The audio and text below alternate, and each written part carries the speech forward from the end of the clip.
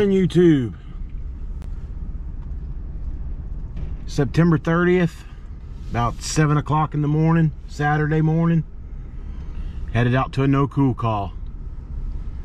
Hopefully I can take you guys along, see what we can find. Stay tuned. Alrighty. We got us a Goodman. Contactor's humming. I pulled the disconnect. But we're gonna put the disconnect back in and see if we got power.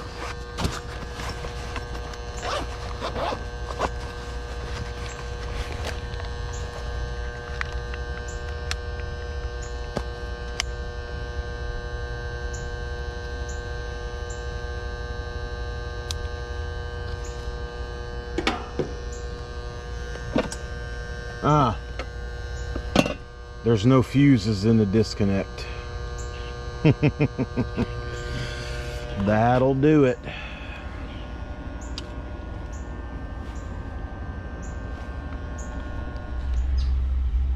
All right, guys. I'm in my personal truck and I have set up my personal truck for service work, basic service work. But one thing I don't have is high voltage fuses. I have low voltage fuses. But there's a hardware store about a mile away. So we're gonna go get some fuses. I'm gonna get a few of them. And uh, the reason I set my personal truck up for service work is because you just never know. Like right now, my my uh, F-250, I bent the ladder rack on it. I hit I was at my uncle's house dumping some scrap and my ladder rack got propped up against a tree branch and it bent the ladder rack so it's at a welding shop getting fixed because it was bent pretty bad. And uh, so I'm running service out of my personal truck but I'll get some high voltage fuses this morning and we'll get that unit fixed. That but that's why it's not running. Looks like that disconnect was just put on. They did have some electrical work done yesterday. So uh and they forgot to put fuses in the disconnect. All right, guys, I got some 30 amp fuses. That's all they had. This max fuse. Where are you? Max fuse breaker is 30, so that's perfect. Well, I tell you what, man, they're proud of these fuses.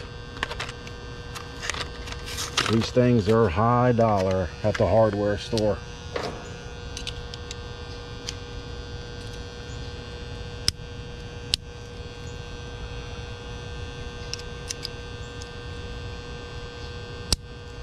But she ought to run now. Yeah, it's a brand new disconnect.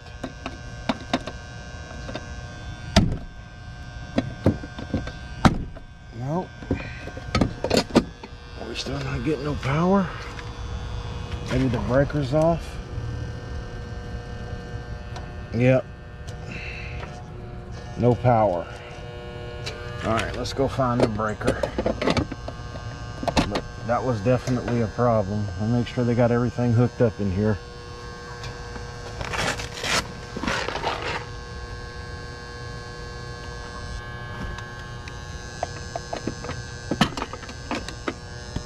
No. Look at this. Nothing's hooked up.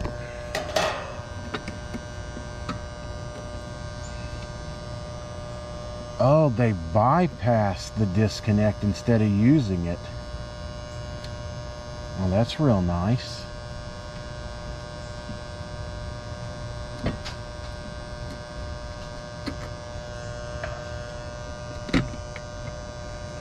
This is my line voltage.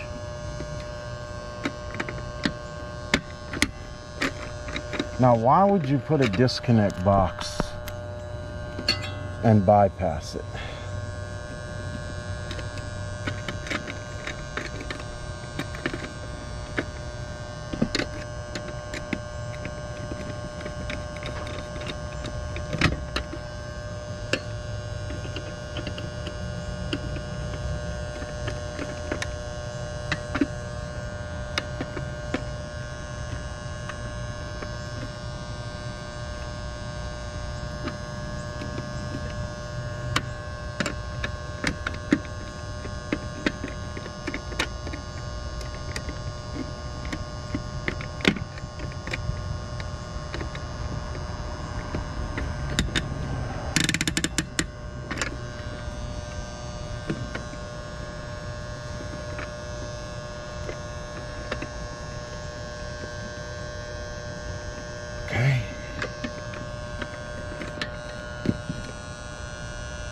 This is gonna be my load.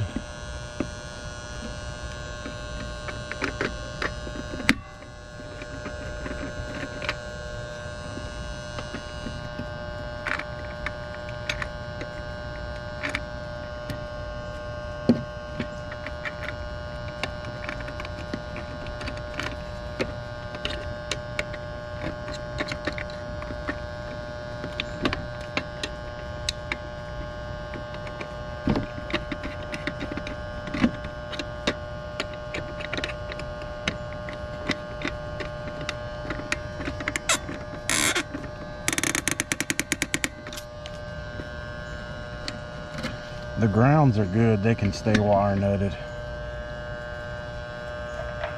This is this just makes no sense to me. You're gonna put a disconnect box and use it as a junction box.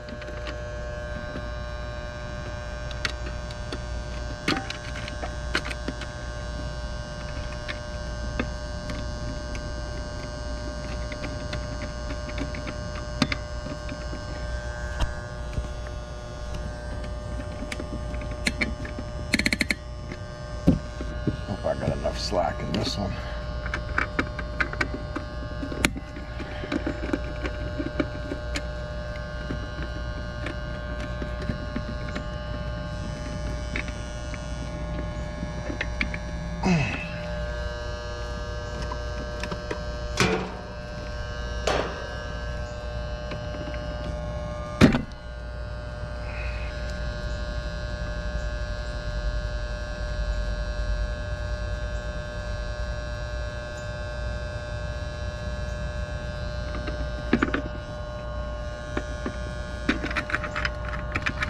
There we go.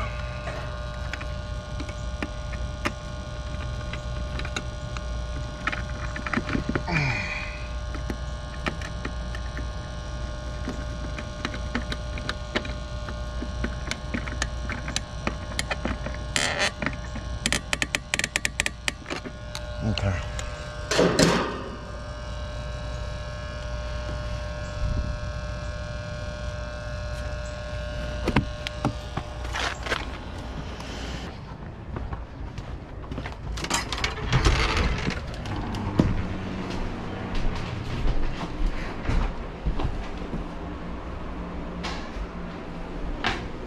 Where's the breaker box at, buddy? It's on the side of the house. Outside? Okay.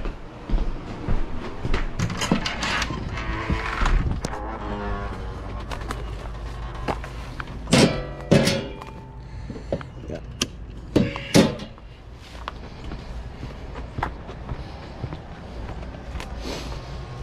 Let's see if we got power now coming to line voltage.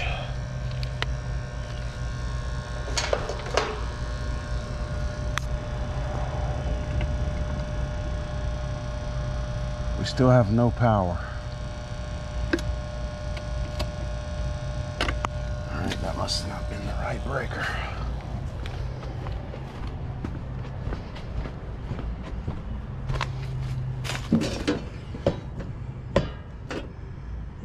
It's the only breaker off.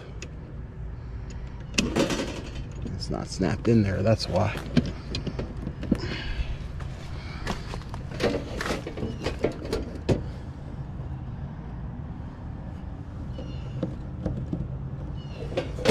Is the right one.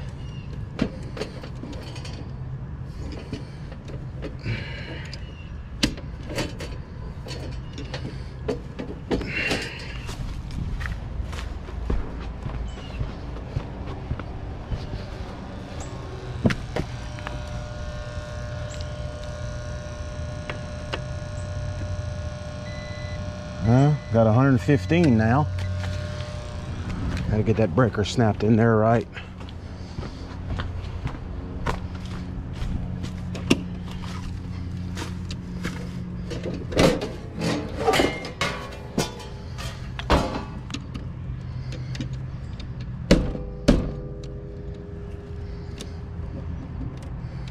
Yeah, and they wire nutted it.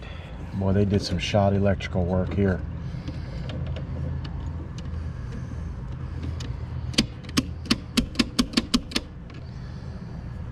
let's see if that'll get us 220.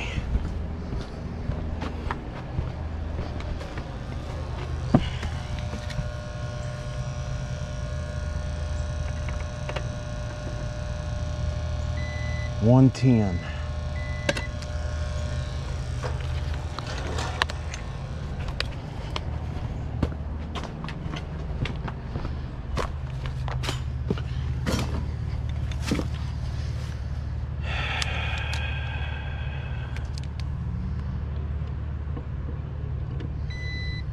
I'm getting 244 coming out. I see why they used the white wire instead of the red one. So I'll make a switch right here. And we should be good to go.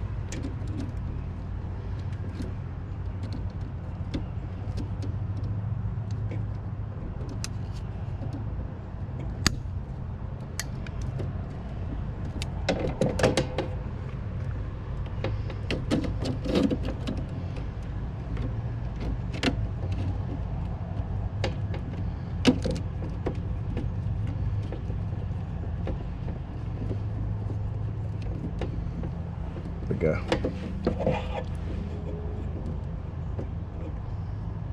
Nice and tight. That'll get us our 240 volts.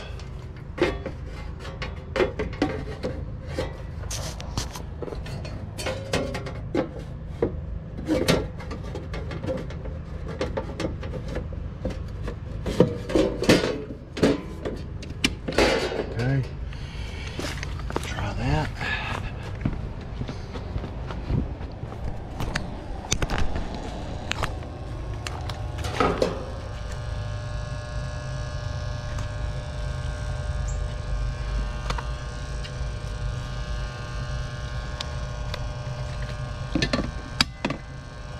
Because I used red in here instead of white.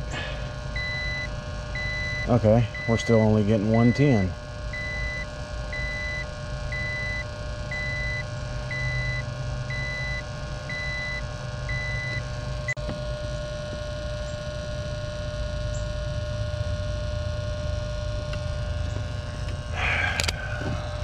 Let's see.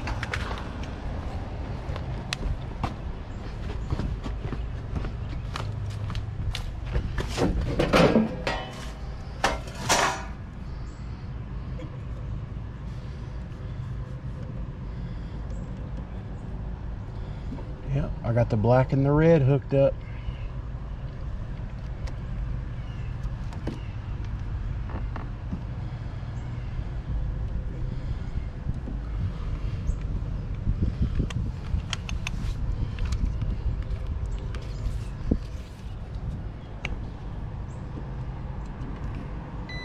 Two hundred and forty-four.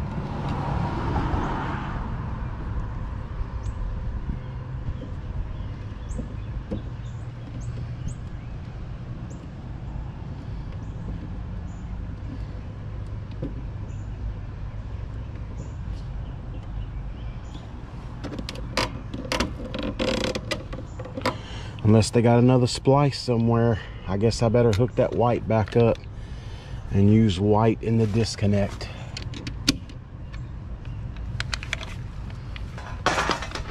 They've got to have another splice somewhere.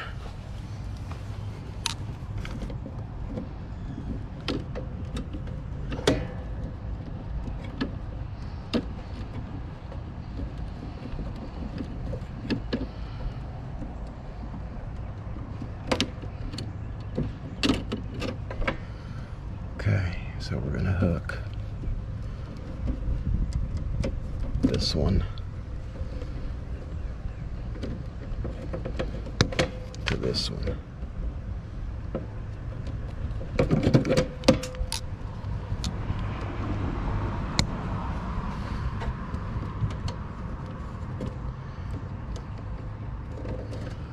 Boy, this is some shoddy electrical work.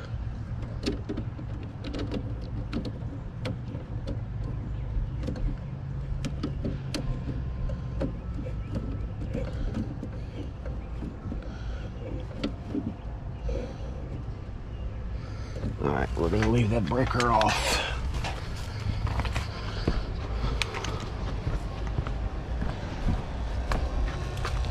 Look at this conduit. Look at this. There's another splice somewhere, I guarantee it. That's why they cut that red one short.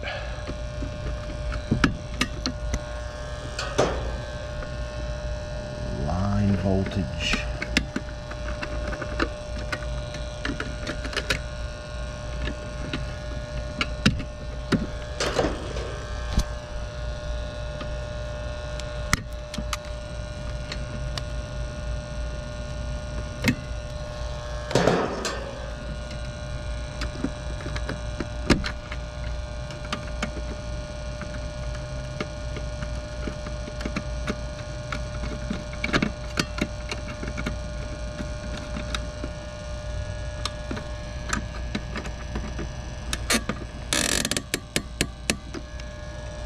All right, we'll turn the breaker back on. We should have 240 now.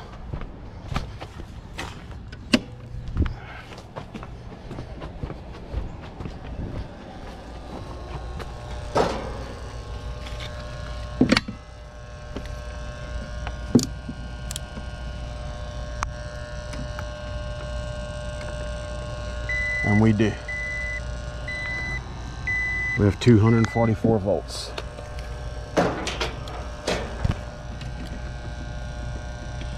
Which means this condenser should run when I plug this in. There it is.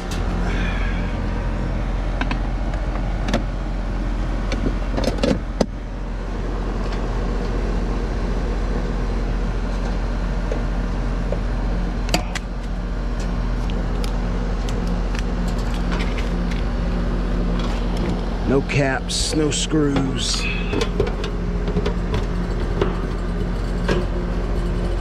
Ooh, it sounds like it's bone dry too. That compressor does not sound good.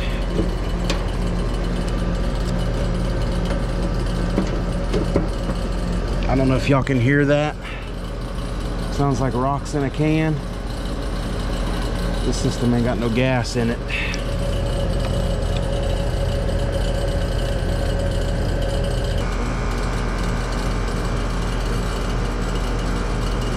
Yep, negative 12. She's bone dry.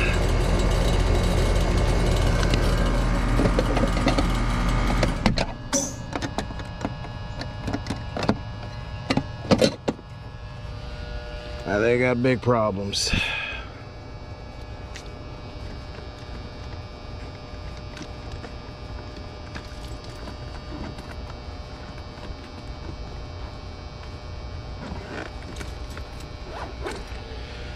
Not something I really want to get into on a Saturday, to be honest with you.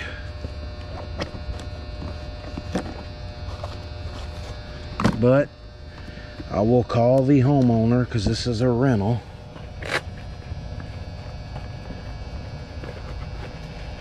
See what they want to do. See any residual signs out here. I don't see anything.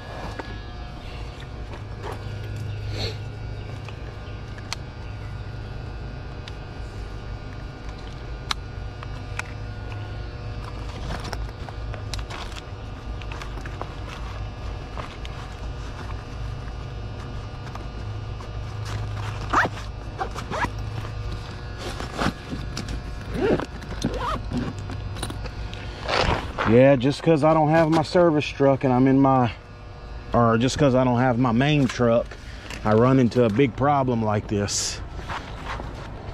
But every time I'm in my regular truck, it would have just been something simple, no problem. But just because I'm in my personal truck that's set up for basic service like what we just did, there's a bigger problem. All right, guys, so this is a good customer of mine. And uh, he called, they called me out and said that they had a bunch of electrical issues on the house and they had them all fixed. But the AC still wasn't working we found what we found, okay? They redid the disconnect and all that. They wire nutted it. We got that straight. And then we fire up the unit and it's bone dry on Freon. So I don't have my regular truck. I'm in my pickup truck, which is set up for very basic service work. I don't even have a torch on this truck. I'm gonna put one, but right now I don't even have a torch on here and I'm not getting into this on Saturday. I mean, unless he wants to pay overtime, then the guy should be just about done with my truck. He said it wasn't to take him long to uh, to fix my ladder rack, and uh, you know I can come back and get into it, but it probably needs a. Uh,